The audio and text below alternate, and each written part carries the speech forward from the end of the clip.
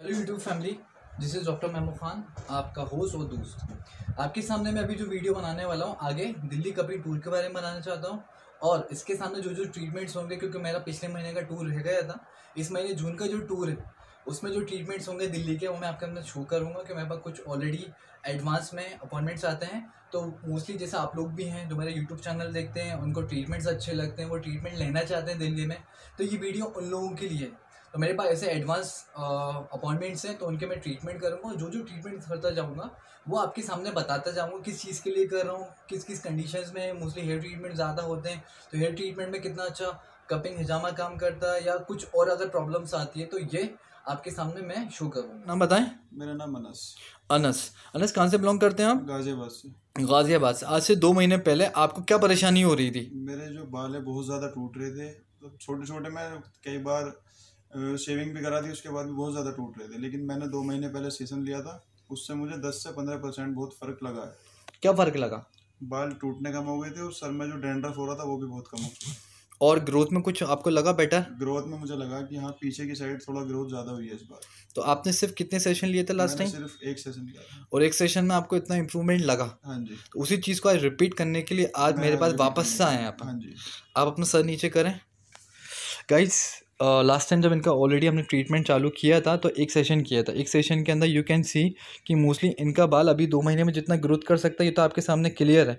But इनका बाल बहुत ज़्यादा झड़ रहा था। झड़ने के साथ क्या होता है ग्रोथ भी प्रॉपर नहीं होती एज यू नो बट अब इनकी ग्रोथ काफ़ी बेटर हो रही है। और ख़ासतौर पर जैसे ये बीच बीच बैक का बता रहा हूँ तो इनका जो क्राउन एरिया था, वो ज़्यादा इफ़ेक्ट था। यू कैन सी अभी भी यहाँ पर हल्का सा पैचेज हैं, बाल कम हैं। बट इस एरिए पे क्या है पहले जो दो महीने पहले था ग्रोथ कम थी। आज ग्रोथ बेटर हो गई है just because of one session of exam को लास्ट टाइम मैंने आपके पॉइंट्स कहाँ लगाए थे?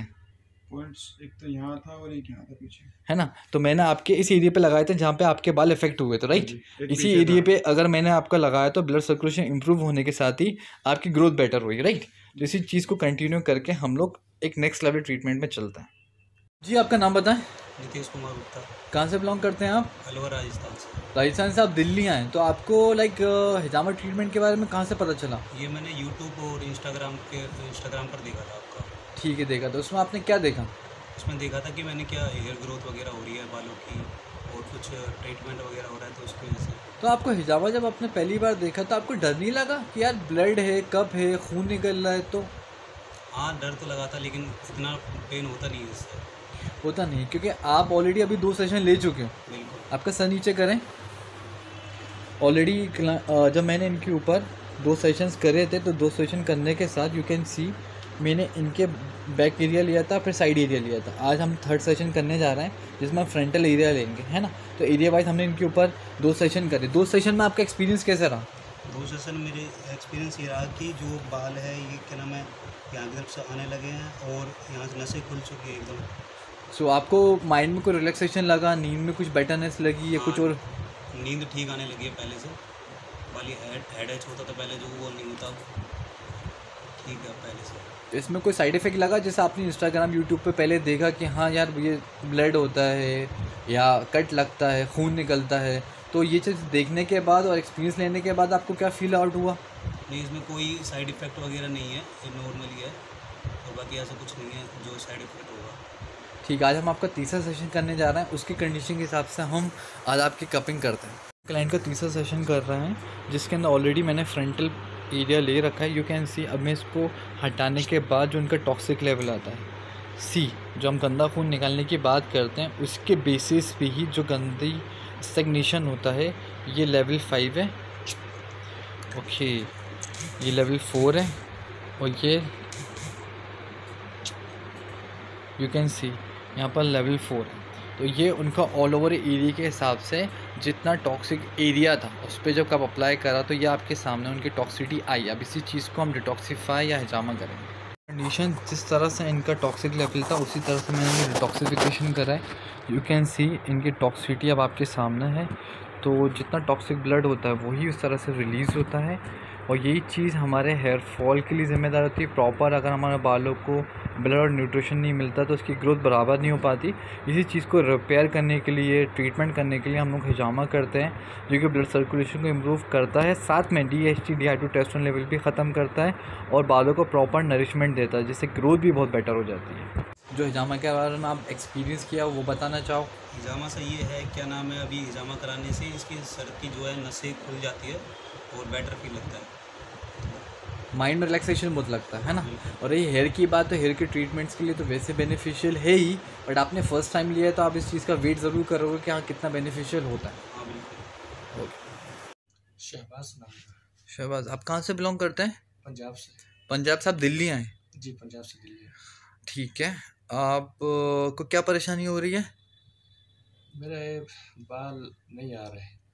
बाल नहीं आ रहे कितने टाइम से नहीं आ रही है तकरीबन दो साल से। दो साल से आपका दो साल पहले क्या दिक्कत हुई थी जब आपका बाल बहुत घना हुआ करता था है ना?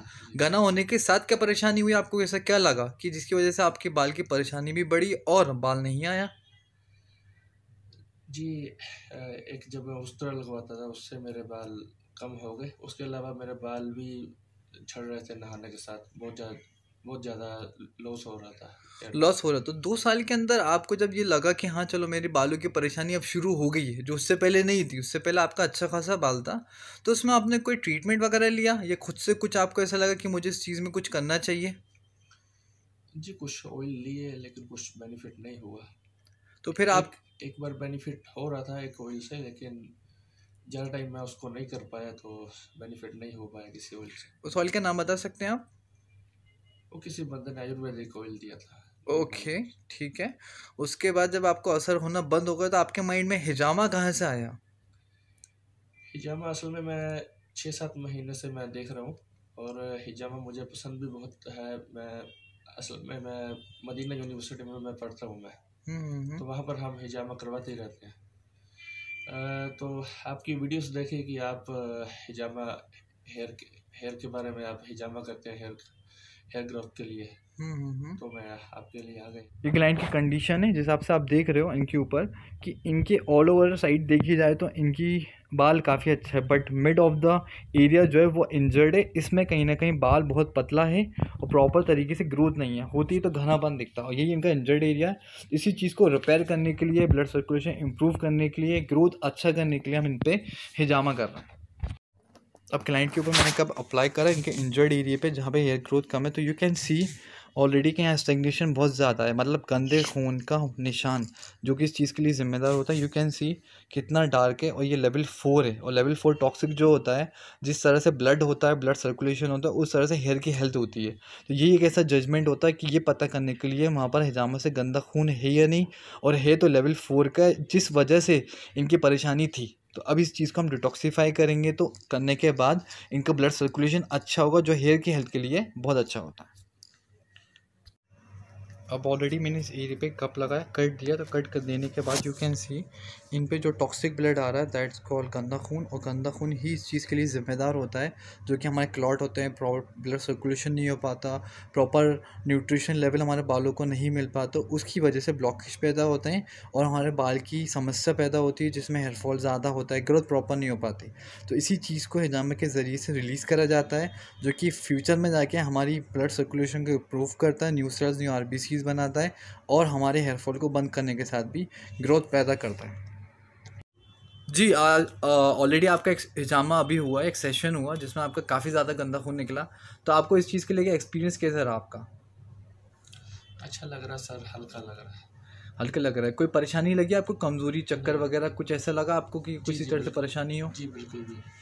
ठीक है इसमें ग्रोथ का आपका देखना आगे क्या होता है। जी। फैमिली जिस तरह से आपने मेरे ट्रीटमेंट्स देखे दिल्ली के उसी तरह से हर महीने में जैसे दिल्ली आता हूँ, पिछले महीने में नहीं आ पाया था क्योंकि रमज़ान थे बट इस महीने जब जून में मैं आया तो मैंने हेयर ट्रीटमेंट्स करे थे, जिसमें से एक ट्रीटमेंट आपके सामने था कि मैंने जब उनका मे में कपिंग करी थी। दो महीने बाद उनकी ग्रोथ बहुत अच्छी हुई, जिसके अंदर हेयरफॉल तो बंद हुआ ही हुआ, साथ में टेन टू फिफ्टीन परसेंट की ग्रोथ बहुत अच्छी हुई। उसके बाद जो बाकी ट्रीटमेंट्स थे हेयर के अकॉर्डिंग टू कंडीशंस किसी का हेयरफॉल बहुत ज़्यादा है, किसी की ग्रोथ प्रॉब्लम है तो उसके हिसाब से जो उनके ट्रीटमेंट्स करें वो आपके सामने तो इस इस महीने का कपिंग टूर तो दिल्ली का मेरा हो गया। कुछ लोगों को जिनको ट्रीटमेंट कराना है हेयर प्रॉब्लम से तो नेक्स्ट महीने जब मैं दिल्ली आऊँगा, मैं पाँच जुलाई को आने वाला हूँ और जितने भी लोग इंटरेस्टेड हैं मेरे ट्रीटमेंट करने के लिए और हिजामा लेने के लिए फॉर हेयर फॉर अलग अलग देख तो मोस्टली मैं अपना नंबर डिस्क्रिप्शन में आपके सामने लिख दूँगा। बहुत सारे लोग मुझे व्हाट्सअप कर सकते हैं उसी नंबर पे और अपनी अपॉइंटमेंट एडवांस में बुक करा सकते हैं। तो इसी तरह से जो भी ट्रीटमेंट्स आपके लिए हम लोग प्लान कर सकते हैं दिल्ली में, वो मैं एडवांस अपॉइंटमेंट लेके दिल्ली में आपको कपिंग थेरेपी ट्रीटमेंट दे दूँगा। Thank you